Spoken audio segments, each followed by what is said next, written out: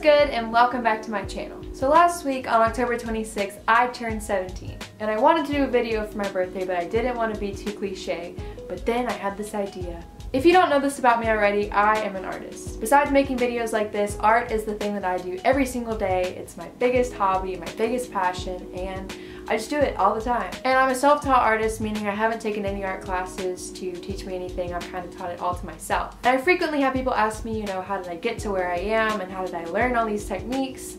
Well, I taught to myself just through practice and, you know, making mistakes and learning from them. So I had this idea and I went downstairs and my mom and I gathered up all of my art that we could find from the ages of five until present day. And I've compiled them just to show you the transformation in my art over the past 17 years. So without further ado, I now present to you 17 years of art.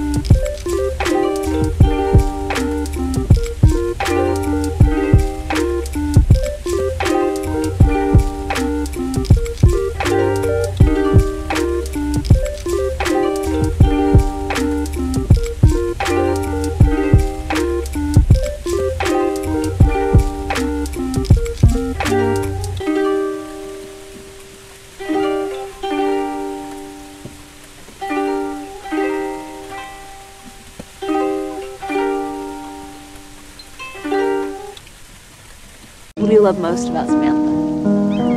Oh God, she's so many things.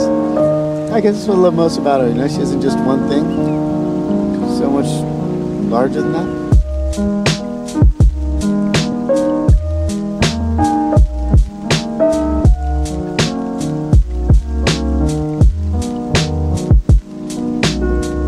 This